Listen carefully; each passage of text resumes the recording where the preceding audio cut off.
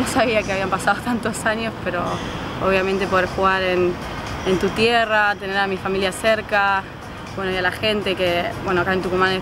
el trato y el recibimiento fue increíble, es algo muy lindo, así que no me acordaba ya, la verdad que pasó muchísimo tiempo, pero estoy muy contenta de, estar acá y con muchas ganas de competir. Eh, no tuve mucha posibilidad de conocer mucho, hasta ahora estuve solo en el club, eh, nos han tratado increíble, la verdad que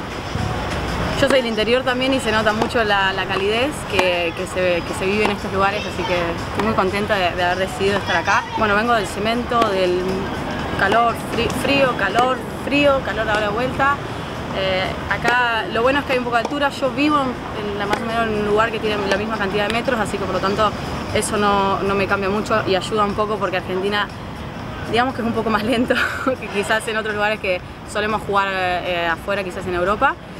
Eh, nada, es toda una adaptación porque obviamente venía de otras condiciones, pero me gusta, me gusta, así que me voy sintiendo bien, estoy tranquila y sobre todo con muchas ganas de competir.